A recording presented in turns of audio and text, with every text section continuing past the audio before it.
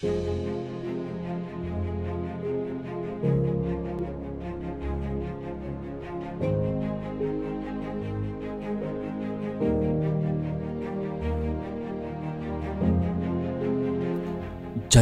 හේරත් නම් වූ ජනතාවගේ මිනිසා.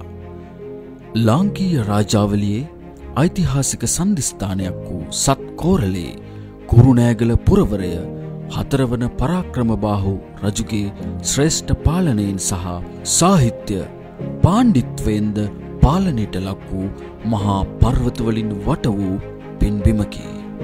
ඓතිහාසික ඇතුගල ඉබ්බාගල කුරුමිනියාගල ආන්දාගල වඳුරාගල එළුගල වගේම මා ඔය දක්වා විහිදුණු අලංකාරිත්වෙන් යුතු කඳුමුදුන්වලින් යුතු සත්කෝරලය මහරාතුන්ගේ පාදර්ශපර්ශයෙන් ස්පර්ශ වූ අසමාන පුුණ්‍ය භූමියකින් වට වූ වයඹ උදා භූමියේ අසිරිය රට පුරාම විදහාපායි.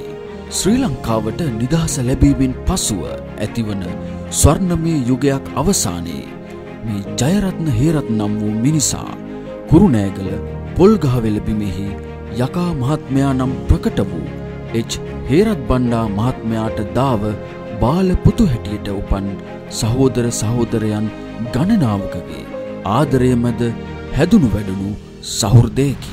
කුඩා කාලයේ අධ්‍යාපනය හදාරණ අවදියේ තම පවුලේ සාමාජිකයන් සමග සමාජ සේවයන්ට දායක වූ ජයරත්න හේරත් පොල්ගහවෙල ශාන්ත බර්නාදෙත් මහාවිද්‍යාලයෙන් පාසල් අධ්‍යාපනය නිම කරනවා. ජයරත්න හේරත් නම් වූ ජනතාවගේ මිනිසා. තමන් කරමින් සිටි රජයේ රැකියාවට ආයිබෝවන් කියමින් දේශපාලන ජීවිතයට පිවිසීමට ජයරත්න හේරත්න තීරණය කරනවා. හිටපු ගම්කාරය සභාවේ සභාපති සහ එවකට ශ්‍රී ලංකා නිදහස් පක්ෂයට අමිල සේවයක් කළ තම පියාගේ ඇසුරින් නොෙක් අත්දැකීම් ලබාගත් තරුණ ජයරත්න හේරත් එවකට පාර්ලිමෙන්තුව නියෝජනය කරන නිකවැරටියේ කවිසේන හේරත්ගේ පරපුරට නෑකම් කියන. ඒ වගේම ලංකාවේ ප්‍රථම ගම්කාරය සභා සභාපතනිය වන ශීලා කුමාරි හාමි මැතිනියගේ දියනිය වන රංජනී හේරත් සමග විවාහදිවියට පිවිසෙනවා. ඉන් පසු අදුරෙන් එලියට දීප්තිය නිර්මාණය කරනවස් පොල්ගහවෙල ආසනයේ දේශපාලනය තුළ තමා දකින සොයන බලාපොරොත්තු වන ජන සමාජය අපූරුවත් කරන්නට දේශපාලන ගමන ආරම්භ කරන්නට වුණා. එක්දස් නම්සි අසුවට වර්ෂය වයඹ ගගනත අලුත් පියවරක් තබන ජයරත්න හේරත් සිරිමාවූ බණ්ඩාරනායක මැතිනියගේ ආශිර්වාදයෙන් පාර්ලිමෙන්තුවට තරඟ කරනවා.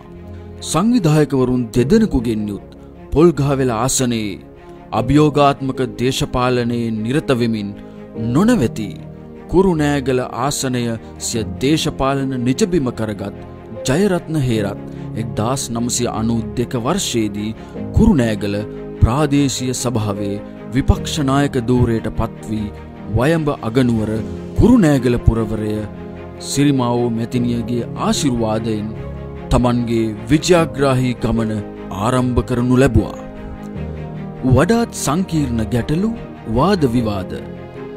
තර්ජන මධ්‍යේ එක්දස් නම්සේ අනු හතර වසරේ මේ උදාරතර මිනිසා ජනතාවගේ ආශිර්වාදය මහා ඉහලින් එකතු කොටගෙන වයඹ පලාත් සභාවට තරඟකොට එහි සභානායක ලෙසත් විපක්ෂනායකවරයා ලෙසත් කටයුතු ආරම්භ කරනවා.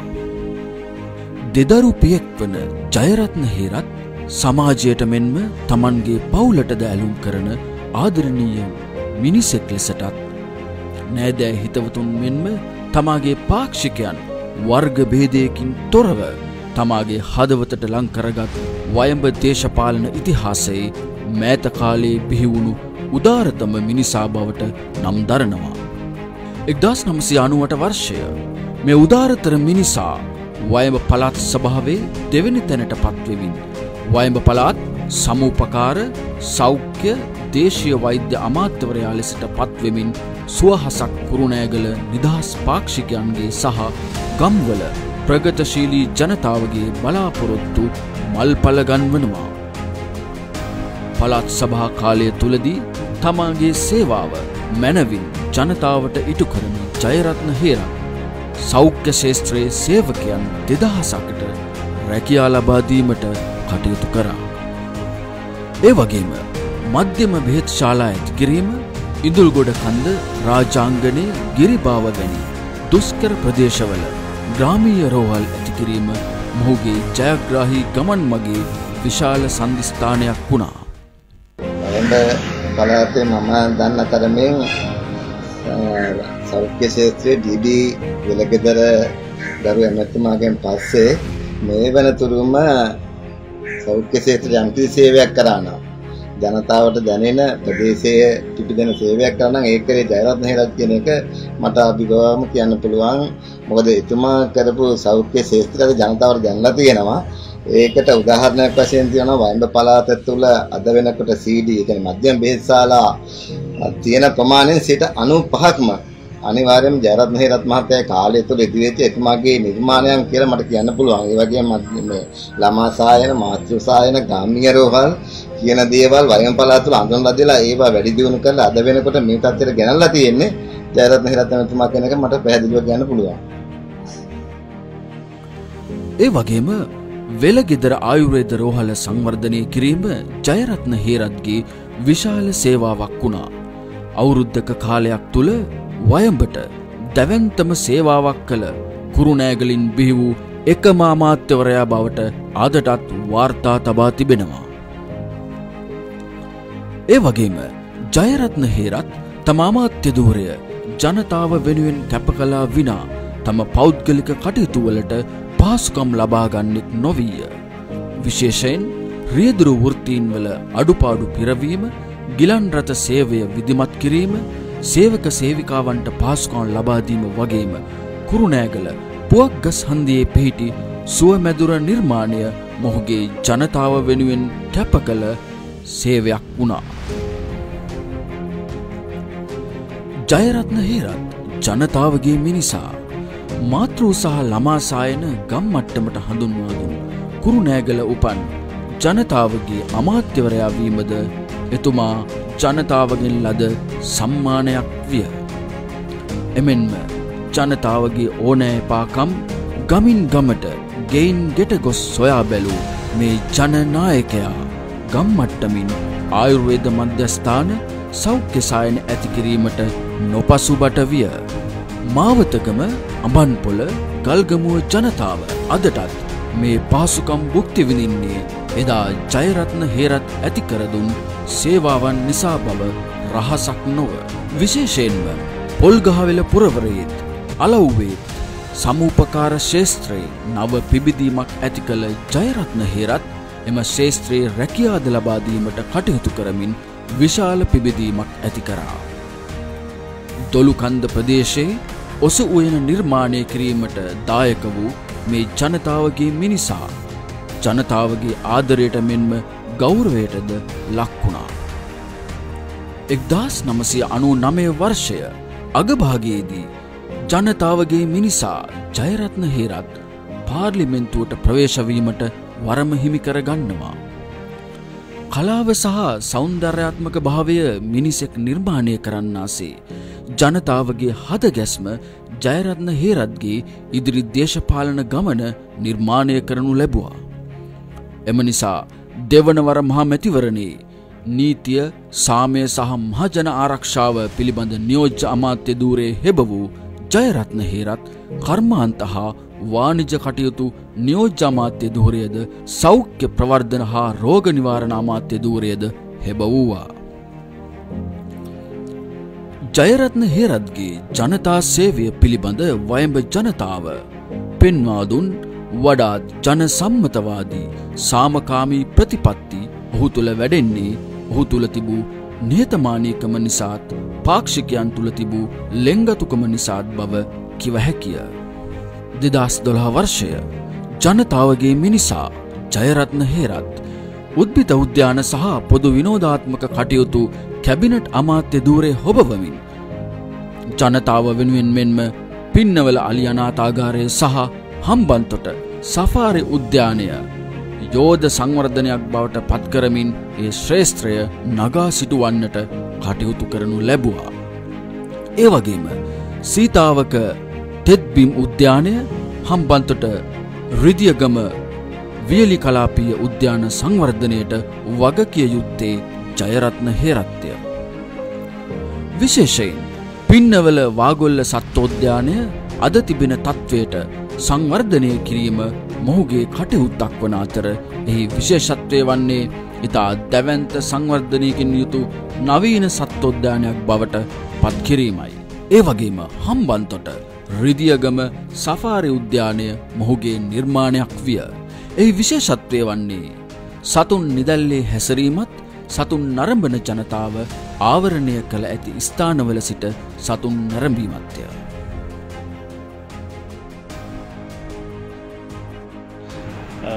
කුරුණෑගල දිස්ත්‍රික්කයේ අපේ පරිණත දේශපාලන චරිතයක් වන අපේ ජයරත්න හේරත් මැතිතුමා මම හිතන්නේ 2012 වර්ෂයේදී එතුමට ප්‍රථම වතාවට කැබිනට් ඇමති ධූරයක් අපේ ලංකාවේ පිරිනැමෙනවා ගරු මහින්ද රාජපක්ෂ මැතිතුමා ඉතින් ඒ එතුමට ලැබෙන්නේ උද්භිත උද්‍යාන හා පොදු විනෝදාත්මක කටයුතු පිළිබඳ කැබිනට් ඇමති ධූරය.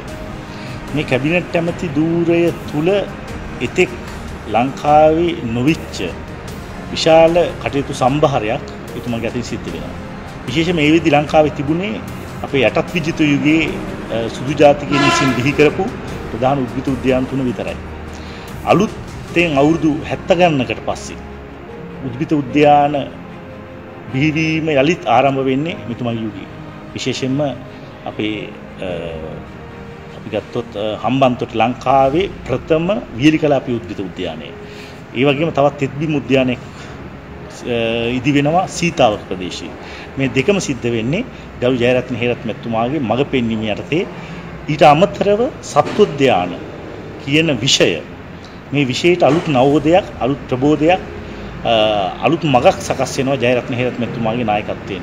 විශේෂයෙන්ම අපේ හම්බන්තොට එලිමාන් සත්වෝද්‍යානය ඊට අමතරව වාගොල්ල පින්නවල වාගොල්ල එලිමාන් සත්වෝද්‍යාන කියන ප්‍රධාන සත්වෝද්‍යාන දෙකක් බිහි වෙනවා එතුමගේ කාල පරිච්ඡේදය තුල. ඒ නිසා මේ මම විශ්වාස කරන විදිහට උද්භිත උද්‍යානවලත් සත්වෝද්‍යානවල මේ ප්‍රධාන මේ මේ විෂයපතේ ස්වර්ණමය යුගයේ හැටියට එතුමගේ කැබිනට් අමාත්‍ය කාල පරිච්ඡේදය හැඳින්වුවොත් මම හිතන්නේ කිසිම වැරද්දක් නැහැ. දෙහිවල සත්තෝද්‍යානය සංවර්ධනය කරමින් උද්‍යානවල සේවය සඳහා රැකියා ලබා දීමට කටයුතු කළ නිසා ජයරත්න හේරත් කුරුණෑගල ආසනයේ දිස්ත්‍රික්කයේ වයඹ පළාත තුළ පමණක් නොව මුළු මහත් රටේම පැසසුමට ලක් වූවා. ලක්සලේ ස්වර්ණමය යුගයේ ඇතිවන්නේ ජයරත්න හේරත් නැමැති ඒ සොඳුරු දක්ෂ මිනිසාගේ අප්‍රතියත ධෛර්යය නිසාවෙනි. ලක්සල රාජ්‍ය ආයතනයක් ලෙස නම් කොට ඉදිරියට ඉතාමත් ඉහළ සංවර්ධනයකින් යුතු ආයතනයක් බවට පත් කිරීමට ජයරත්න හේරත් නොපසුබට විය. ජයරත්න හේරත්ගේ අනන්‍යතාවය දුටු ජනතාව ඔහුව නිර්වචනය කළේ ජනතාවගේ මිනිසා යනුවෙනි. වර එක මැර ප්‍රහාරවලට පවා මුහුණ දෙන්නට සිදුවුවත් නොසැලී පෙරමුණේ සිටගත් ජයරත්න හේරත් වයඹ ජනතාවගේ විජයග්‍රහණයේ පැතුම බවට පත් වූවා. කුරුණෑගල දිස්ත්‍රික්කයේ කාර්යභාරය සෙසු දිස්ත්‍රික් වලට වඩා ඉතාම වැදගත්. ඒකට ප්‍රධානතම කාරණය තමයි මහින්ද රාජපක්ෂ මේ පස්වන විධායක ජනාධිපතිතුමාගේ නායකත්වය යටතේ අපි පිහිටවන්නට යෝජිත ආණ්ඩුවේ වැඩිම කාර්යභාරයක් අපිට කරන්න කුණෑ දිස්ත්‍රික්කයේ වයම් පළාතට අපිට පැවරලා තියෙනවා. වයඹ ජනතාවගේ මිනිසා ජයරත්න හේරත් ජයරත්න හේරත්ගේ ජීවිතයට වයඹ ජනතාව අනන්‍යතාවයක් දුන්නේ ජනතාවගේ පාක්ෂිකයන්ගේ හිතවතුන්ගේ නිහතමානී මිතුරා යනුවෙන්ය. වයඹට අප්‍රතිහෙත සේවයක් ඉටු කළ ජයරත්න හේරත් අදටත් හෙටටත් වයඹ විජයග්‍රාහි සලකුණම වන්නේය.